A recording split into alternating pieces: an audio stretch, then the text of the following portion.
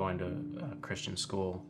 Growing up kind of as a kid, God was the first thing in my life that I cared about. That, and I went into this phase of if this is what I'm getting for my effort to be a good Christian, then I'm just going to go full force into going and getting what I want. My relationship with God at the time was very strained. I was going through a really rough time with um, depression. I struggle with pornography a lot, and I just accept accepted I don't know how to change myself, and I prayed about it, and God won't change me to make me stop doing it, and so I just continued. I had a lot of mixed emotions about my relationship with Sam. He was actually pretty honest right up at front and told me he was struggling with pornography. I was very naive about a lot of things and didn't know how it would translate to real life relationships. Starting out in our relationship with Zoe, I was pressuring her more and more to be more and more physical. I was very hesitant because of how I was raised. I kind of wanted to save everything till marriage, and yet at the time, I was going through such a crisis of faith and everything that as I got to know Sam more and became more attached and more in love and everything, I went more with what I might desire as opposed to what I knew was right. So, spring of my senior year, spring of Zoe's junior year. Right. She was 20 and I was 21. And in mid February, we um, Found out that found out that? I was pregnant. I dropped out of college to go plan for the wedding. We got married that June. The transition from college life, sleeping in and staying up late and having a community of friends, to living with Zoe's parents, having a newborn baby, and me needing to look for a job and all of this was just disorienting. I was still coping with all of the shame and all of the guilt of getting pregnant without being married. And um, I was diagnosed with uh, postpartum depression. Very shortly after Mariel was born, um, I decided to go to this group at Delnor Hospital for moms who were struggling with depression and anxiety. And um, while I was there, um, I actually met a woman who went to Chapel Street and she invited us to her small group. It was a lot of young people who were young parents with kids. I'm like, awesome, this is what we need. We could feel some hope, some more hope. My main coping mechanism continued to be pornography and keeping secrets from Zoe. And I hit that point of I've finally taken it too far and I made a decision that I was going to just go tell Zoe. My anxiety was spiking a lot. And because Chapel Street had been such a great resource in the past and a really wonderful place that we felt comfortable, I started asking around and I found the Bright Hope Care Group. And it was definitely a wonderful resource and definitely a community that I felt God was working through and that it was a safe place to talk about issues that were hard to talk about. When we started going to Chapel Street, I think at one point in time Jeff said, I don't think most of you, your problem is that there's some horrendous sin that you need to stop doing. And that kind of immediately connected with me like, well, that's how I identify myself. There's this thing that I want to stop doing that I can't. And that's how I see myself and how I see that God sees me and how I think other people see me. And he said, I don't think that's that's your problem. Your problem is that you don't see yourself the way God sees you. I was definitely in a an extremely shameful place where everything that I'd been doing was now revealed. What I continued to hear was that healing was going to come by revealing more. And eventually, through Compass being there over time, I rediscovered my genuine desire that I had to do the right thing, to have a relationship with God, and to be done with all the sin that I've been living in. My depression and anxiety and past scars really kind of undermined what I knew to be true that I was loved and that, you know, God saved me and that He really wants the best for me. And, you know, God is using care groups. We can show each other God's love and give each other our support and also to um, watch each other grow. And it's, it's really a special thing.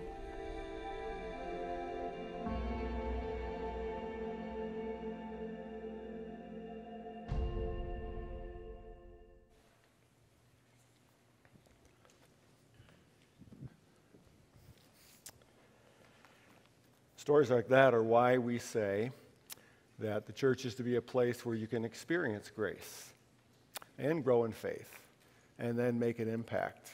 I thank uh, Sam and Zoe for sharing that part of their story. It's difficult to do, but there are dozens and dozens and dozens of those stories happening right now and developing right now through the life of Chapel Street Church. Uh, and by the way, our care group registrations are open right now. So if you know someone or are aware of a friend who's going through a difficult stage, pick up a brochure today, look on the website, help them uh, understand that there is a group they can go to where they will be loved and cared for and helped through that season of your journey. One more little reminder for all of you here at South Street campus, we begin our fall schedule next Sunday, so service will be at 9.15, not 10 o'clock. Uh, so we'll see you at 9.15 next Sunday morning. Well, as many of you know, I spent the first eight years or so of my time here at Chapel Street, formerly FBCG, uh, as the youth pastor. So I was working with high school kids and middle school kids. And one of my favorite uh, memories from that season of life was developing what we called at the time the bike trip. It was an annual week long or nine day long trip to Colorado we were, where we rode bikes in the mountains. And I think we did it for eight straight years. Uh, we started with about 10 people willing to try that, ended up with about 50 students and adults. We packed up Greyhound buses, packed up a trailer full of bicycles, and carted everybody out to Colorado, to Breckenridge, where we started. And we'd ride 50 miles a day or so for a week to places like Aspen and Vail and, and Twin Lakes. And uh, we would stay at churches every night. And it was just a great week of physical challenge and uh, spiritual growth. Uh, this photo here was taken on top of Independence Pass by a group that went one of the last years that we went. Some of those folks are still in the church today. Um, and it was Independence Pass was at an elevation of about 12,000 feet. We rode every single foot of that elevation. Uh, my wife rode with us that year, and if you want to ask her how much fun that was, she's here today. She can tell you all about that. It really almost almost ended our marriage uh, there. But the trip was fun but it was also dangerous. So, one of the big things we had to do initially was teach kids how to ride safely because we rode on roads a lot. So, we take the whole first day just to teach how to ride safely in groups. Uh, and this is how we, this is not one of our groups, but we taught kids to ride this way because you were safer on the road if you were in a group, not by yourself. But to ride in a group, it was important that they learned to communicate with each other. The, the lead rider was the one who could see everything, everything coming up ahead, and everybody behind the lead rider was looking at the back or the back side of the person in front of them. And so the lead rider had to communicate, you know, uh, rocks ahead, rider ahead, cars ahead, uh, holes in the road, potholes. And so they always had to communicate using hand signals and voice signals. And everybody had to pay attention, and everybody had to pass the word back. Well, at one point, uh, we, we left the road to ride on a bike trail, paved bike trail. But there was a place where the bike trail crossed a little frontage road, and they had, there, we, there was a, a, a a concrete post planted right in the middle of the bike trail, probably to keep cars from turning onto the bike trail from the frontage road. It was painted black for some reason. So this one group is riding on, the, on the, the bike trail, and the lead rider sees the post up ahead and gives the command backward, post right, post right, because right on the left hand side of it. By about the third rider, for some reason, that word post turned into hole. So the, about the third rider goes hole right, and everyone after that started looking down for the hole. Well, you can see what happened.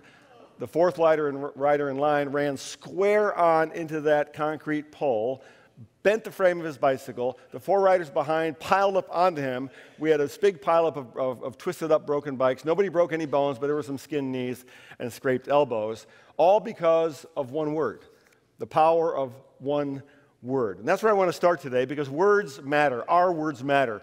We're in a summer long series called The Disciplines of Grace, and we've been developing um, healthy spiritual habits all summer. Habits like gratitude and generosity. Last week we talked about remembering, remembering what, who God is and what He's done. And I gave you a challenge to kind of review your story, make sure people that you care about know your faith journey story. Maybe think about a little symbol of that story you could put somewhere publicly. Uh, Lorena and I spent time, I think it was last Sunday night, with two of our boys, just reviewing our stories to make sure they knew, which they kind of did, but it was good to refresh. And we heard theirs, and I actually heard some things as dad I didn't really know clearly from my own son's faith stories. So, remembering, we did that last week. Today, we're going to talk about the discipline of speaking or the discipline of blessing. One, uh, you can call it both things. So, why do we need discipline in our speaking?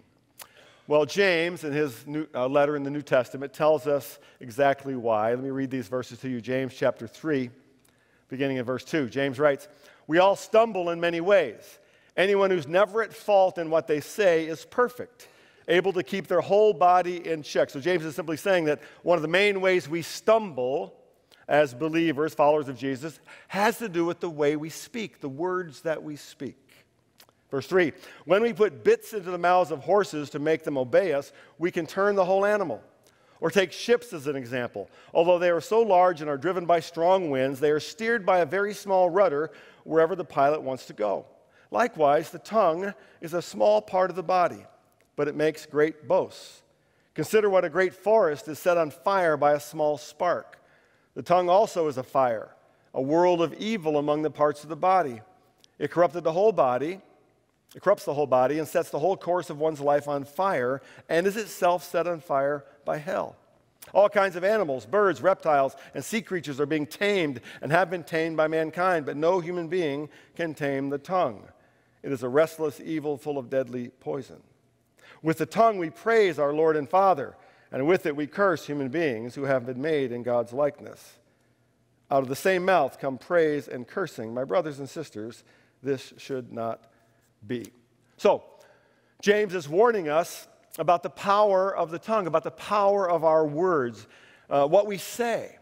And he's acknowledging that it's difficult sometimes to control our tongues for all of us. And he's warning about the power words have to destroy. It's, it's as if, I thought this week reading this, as if James, who lived in the first century, uh, had visited us in our culture in modern 21st century America. It's as if he had visited and listened to our public discourse. What's going on right now in our culture where we live? We live in a word world where words are increasingly used as, as weapons of sort. They're used as racial weapons, political weapons, even religious weapons. We live in a world where it's become necessary, and think about this, it's become necessary to write laws to prohibit what we now call hate speech. We have hate speech laws in our country. James says it should not be so. Shouldn't be like that, especially among those of you who call yourself by the name of Jesus. We are not to speak words that inflame, words that destroy, words that curse. And that's obvious. But how are we to speak? What's the flip side of that? So I'm going to jump over to the Apostle Paul and see what he has to say in the letter to the Ephesians, Ephesians chapter 4. Listen to these words. Paul writes, You were taught, with regard to your former way of life, to put off your old self, which is being corrupted by deceitful desires, to be made new in the attitude of your minds, and to put on the new self, created to be like God in true righteousness and holiness. I'm going to read more of that passage in just a minute, but let me stop there. Uh, our words, Paul says, are to reflect the spiritual reality, the spiritual truth that by faith we have been made new. So that's the first thing I want to talk about today. What does it mean to be made new? I shared before here that uh, over the years that my dad was not raised in a Christian home. Uh, in fact, his two older brothers uh, eventually struggled greatly with alcoholism and died in their 40s as a result of their alcoholism. And he suspects he was headed down the same exact path um, until he was about 16 years old, and two of his high school football buddies invited him to a Methodist revival meeting uh, where he met Jesus and his life was changed.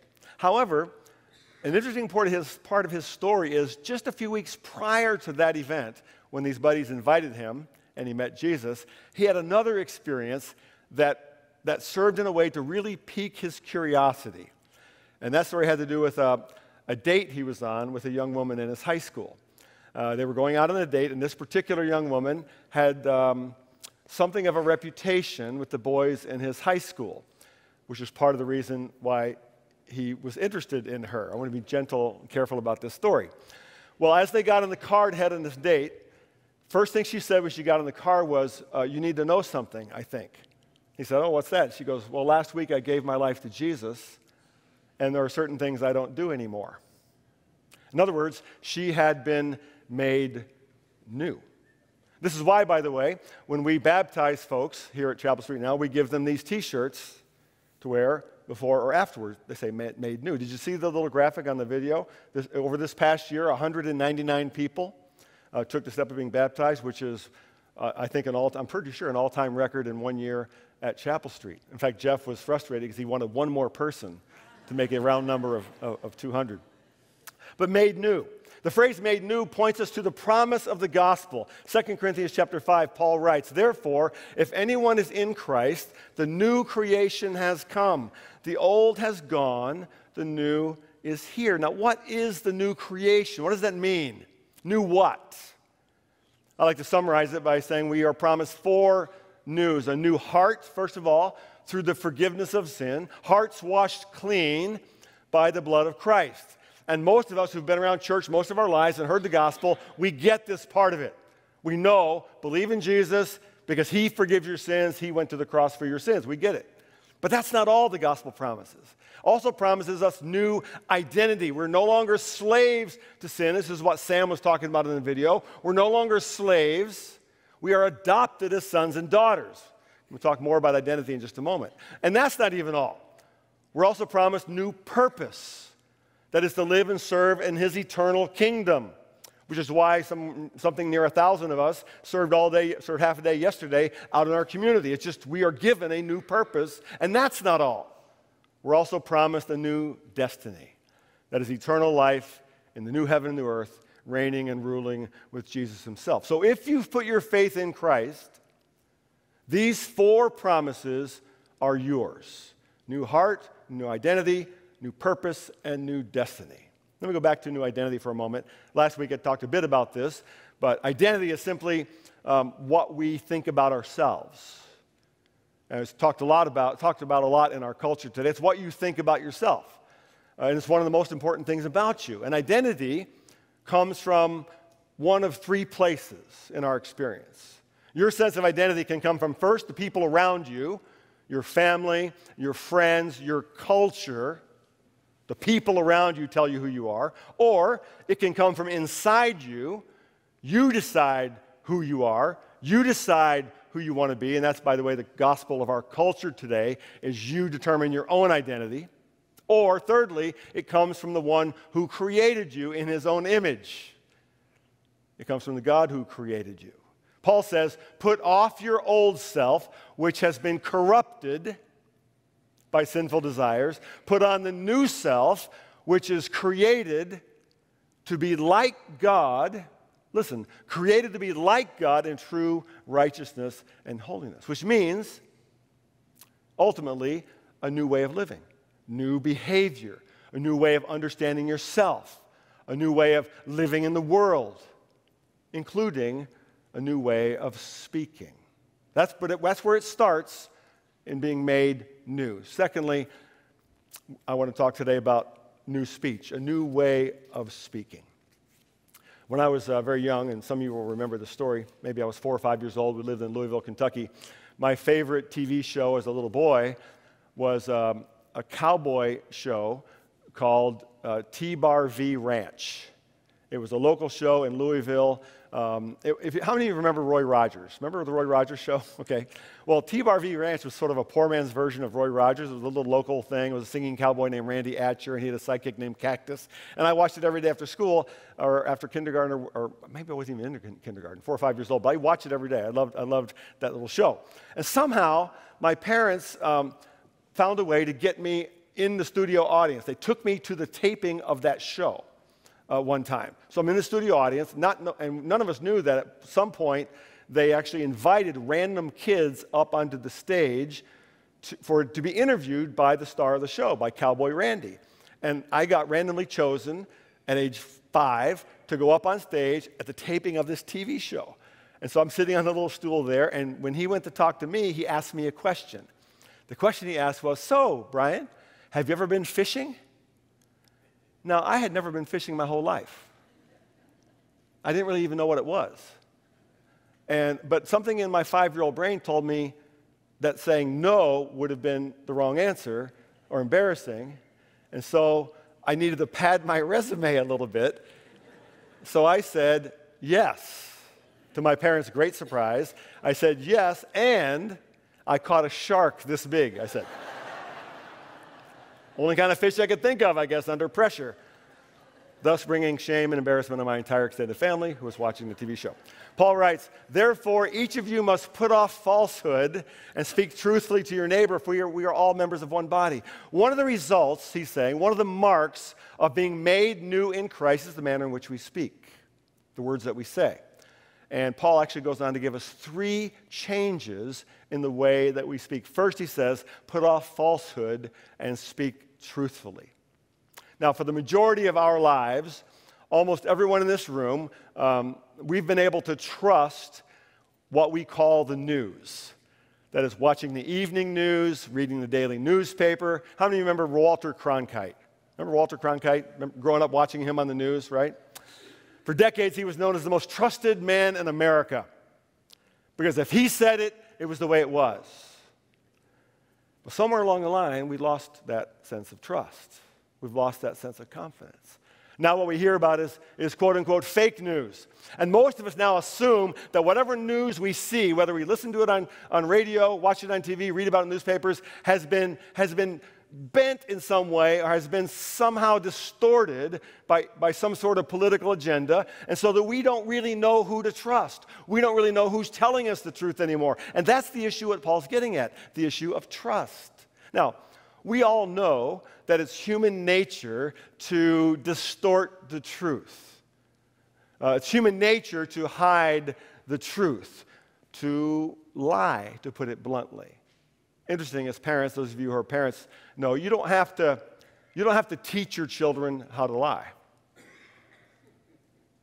We have to teach our children not to lie because it's human nature we misrepresent the truth. We have this tendency to hide the truth, to pretend to be what we are not, in order to protect ourselves, uh, to avoid getting into trouble, uh, to be seen as better than we are. Some examples. We fudge the truth by padding our resume, as I did as a five year old on a TV show. Or we, a friend asks us how we're doing, and we say, fine, even though we're struggling with significant issues that we need help with. Uh, or we're te- and we're tempted to, to hide behind falsehood out of, out of fear, really. We are fearful that if we speak the truth, we'll be embarrassed. If we speak the truth, we'll get in trouble. If we speak the truth, we won't be loved or accepted. So, at the root of our fear is the inability to or the failure to trust God and what he's already done for us. Paul says, In Christ, you have been made new. You can live in truth because you're already loved. His love will never change, it will never go away, it's permanent. You're already forgiven. It's what Sam was talking about in the video. You've already been adopted as sons. you have already been given a new purpose, a new destiny. So you don't have to hide. You don't have to live in fear. A while back, I saw a cute little story about a nine year old Little League baseball player. I watch a lot of baseball, you know, I, am a, I'm a fan. Uh, little baseball player's name was Billy, nine years old, playing a Little League game, and he was running to third base. He slid in. The umpire said, um, Safe. And Billy stood up and said, Sir, no, he tagged me, I'm out. So the umpire said, You're out. A couple weeks later, Billy's playing in another game. This time he's running toward home plate. Same umpires at the game, calling the game behind home plate. Billy slides in. The umpire says, You're out. And Billy stands up and says, Sir, he didn't tag me. I'm safe. And the umpire looks at him and goes, Okay, you're safe. the other coach runs out of the dugout, wants to argue the call. You can't. He goes, Coach, stop right there. Don't even bother arguing. I know Billy, and Billy always tells the truth. He's safe. So the question is, are our words trustworthy? Do we trust the promises of God enough to be people of truth? Can we be trusted? Secondly, Paul warns us about words spoken in anger.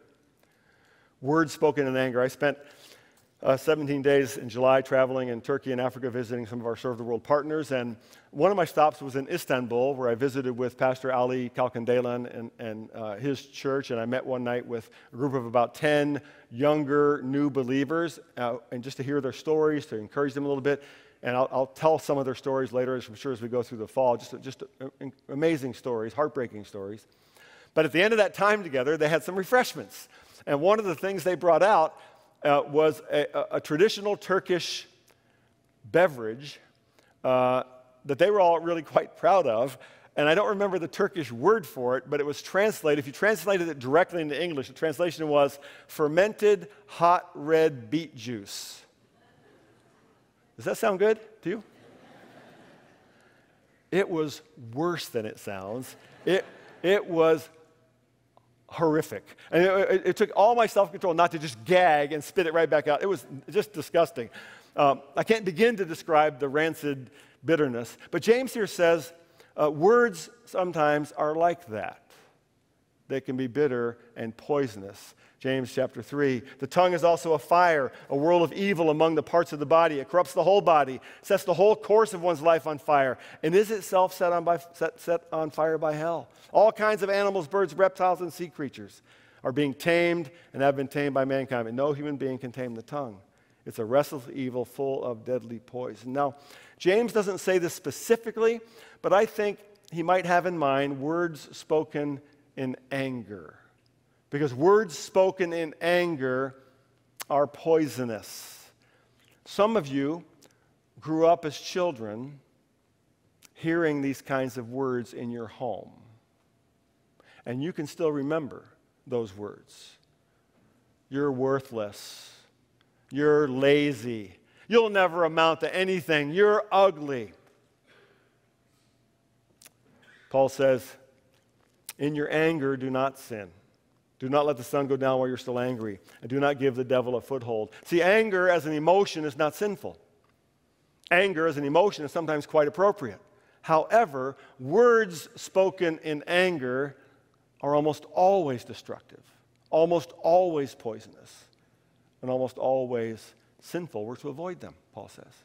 Thirdly, he says we are to avoid unwholesome talk. Unwholesome talk. When I was in about the second grade, on the playground one day, I heard a boy use a word I'd never heard before. Uh, I didn't know what the word meant, I just knew it had quite an impact on the playground. So all day long, I pondered that word uh, and couldn't wait to get a chance to try it out myself. So I got home, immediately ran up to my bedroom, second floor, opened the window, and shouted this word out to our neighborhood as loud as I could. You probably already guessed it was a it was a four letter word rhyming with the word spit. And I learned pretty quickly through the swift reaction of my mother that that's not a word we used in our house. I think that reaction involved soap, uh, maybe a paddle, I can't quite remember. Uh, but I learned that we don't talk that way. And more importantly, I learned that Christians don't talk that way. Paul says, Do not let the unwholesome talk come out of your mouth. Now, the Greek word translated unwholesome here is the word sapros. It means corrupt or rotten or putrid, overripe. It's the kind of word you would use for rotting vegetables or produce or even for animal waste. Okay, it's a powerful word. Uh, last week, uh, Lorena and I had dinner, had, had chicken for dinner one night, and we cut up the chicken and we threw the, the leftover kind of raw chicken that we didn't, ba- uh, didn't grill into a, a bag and threw it in the garbage. And it was warm last week. Put it outside in our garbage can, and a couple days later, we noticed this horrible smell in our, gar- in our garage. And she looked in, I, I, was, I was gone. She looked in and noticed, and it was the chicken. In the heat, there were maggots, and it was disgusting. And she, we had to have the whole can fumigated, cleaned out, and all that.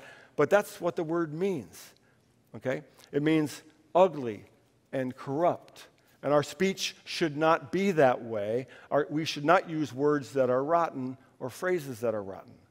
All those who have been made new in Christ have speech that is different. Listen to what Paul says in Philippians chapter 4. Finally, brothers and sisters, whatever is true, whatever is noble, whatever is right, whatever is pure, whatever is lovely, whatever is admirable, if anything is excellent or praiseworthy, think about such things. And I think Paul would assume that thinking about that, such things means speaking such things as are lovely, right, noble, and pure. In other words, we are to speak words that bless. That's the third point today words that bless. Uh, my dad has a lifelong habit of memorizing scripture. Now, some people find memorizing hard. My dad has always been able to memorize things. Um, in fact, my dad, at one point in his life, had memorized over a hundred chapters of scripture, not verses, chapters. And he sort of loved to demonstrate this gift to you when you ask, and sometimes when you didn't ask. And, and he would get started, and I'd be like, oh, man, it's going to be a while because he could just go and go and go. Well, one day, uh, a few years ago, a number of years ago now, he was in a supermarket or grocery or a department store or something, and he was in a checkout line. And it was the checkout line was really long. Maybe they only had one or two open. I don't remember the whole situation, but but people were irritated and getting more irritated. And he could overhear the way people were treating the cashier. Uh, just, there were a lot, there were just uh, angry words spoken, frustrated words spoken, and she was kind of being, being uh, uh, uh, abused more or less by the customers who were all frustrated. So by the time he got there with whatever he was buying, uh, he said she looked at him with Uh, look, uh, and looked like she, she was stressed and bedraggled. And she looked at him, a total stranger, and said, Say something nice. And my dad, without hesitation, launched into Psalm 103 because he had it memorized. Bless the Lord, O my soul, and all that is within me. Bless his holy name. He said, At that moment, her face softened, excuse me, and tears came to her eyes. And she said, Is there more? That's beautiful. She didn't know him. He continued, Bless the Lord, O my soul, and forget not his benefits, who forgives all your iniquity, who heals all your diseases, who redeems your life from the pit, who crowns you with steadfast love and mercy, who satisfies you with good things so that your youth is renewed like the eagles. I'm sure people are standing in line going, What's this guy talking about? But he was able to speak words of blessing to a total stranger. Our words are not to be unwholesome, not to be bitter, not to be hurtful, not to be poisonous our words are to bless. Again, Paul, Ephesians chapter 4, verse 29 do not let any unwholesome talk come out of your mouths, but only what is helpful for building others up according to their needs, that it may benefit those who listen. Our words are not to tear down, not to spread corruption and rottenness, rather to build up, to encourage, to benefit, or to bless. Now, what kinds of words do that? What kinds of words bless? Paul continues, Ephesians Verse, chapter 4, verse 30, and do not grieve the Holy Spirit of God, with whom you were sealed for the day of redemption. Get rid of all bitterness, rage, and anger, brawling, and slander, along with every form of malice, and all those words associated with those things. Verse 32, be kind and compassionate to one another, forgiving each other just as in Christ God forgave you. It's not rocket science, but it's difficult. Words that are kind and compassionate. Some time ago, I came across a story. Maybe it was sent to me by someone here in church. Um, but it's a beautiful example of words that bless and build up. It's a little piece written by a woman named Mary Ann Bird. She's looking back on her life, a memory. She writes I grew up knowing I was different, and I hated it. I was born with a cleft palate, and when I started school, my classmates made it clear to me how I looked to others a little girl with a misshapen lip, crooked nose, lopsided teeth, and garbled speech. When schoolmates asked, What happened to your lip? I'd tell them I'd fallen and cut it on a piece of glass. Somehow it seemed more acceptable to have suffered an accident than to have been born different. I was convinced that no one outside my family could ever love me. There was, however, a teacher in the second grade whom we all adored. Mrs. Leonard was her name. She was short, round, happy, a sparkling lady. Well, every year we had a hearing test, and Mrs. Leonard gave the test to everyone in the class, and finally it was my turn. I knew from past years that we, would stand against the door and cover one ear, and the teacher was sitting at her desk, would whisper something, and we'd have to repeat it back. She'd say things like, The sky is blue, or Do you have new shoes? I waited there for those words that God must have put into her mouth, seven words that changed my life. Mrs. Leonard said in her whisper, I wish you were my little girl, she said. That's what it means to speak words that bless. The teacher didn't have to say those words that maybe don't come naturally to us, but she chose to. Words that are kind and compassionate, words that God Himself would say. Every week, we've been giving you something to think about, something to, to, challenge yourself on, spiritually speaking. And so, what I want you to think about this week is pretty simple. Uh, spend some time thinking about the words that you speak. If you've been made new in Christ, you put your faith in Him, uh, everything about you is new. And your speech is to be new. Are your words, are our words trustworthy and true? Do you have a habit of speaking in anger? Or do you have a little habit of you know, being critical, complaining? Uh, do your words ever have a little poison tucked away in them? Do your words bless and build up? Are your words intentionally kind and intentionally compassionate? Just spend time thinking and doing an inventory of your, of your words, your language, your patterns, your habits. And then here's the challenge see if you can find someone every day this week to offer words of intentional blessing to in some way. Just some intentional way to bless someone every day with your words.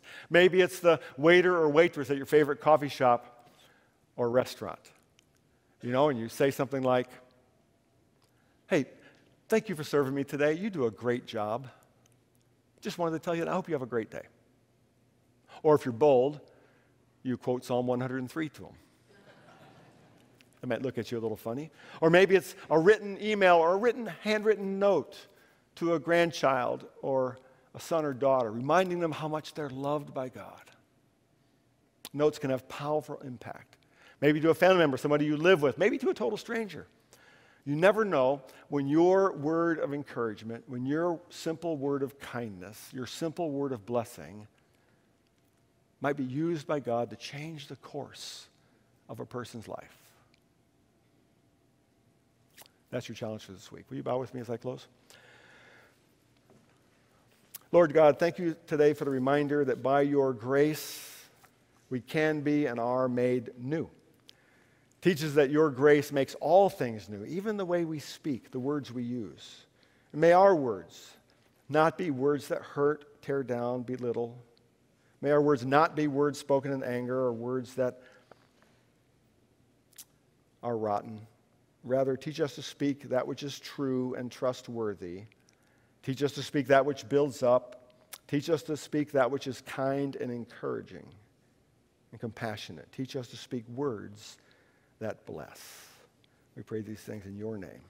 Amen.